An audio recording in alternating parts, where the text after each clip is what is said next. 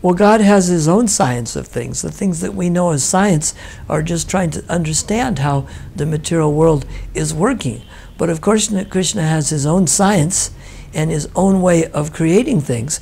But to Him, it's not a big deal. But Krishna has His own ways of creating things, and it would be difficult for us to understand exactly how Krishna does it. Science means they're simply trying to understand how this material world is working.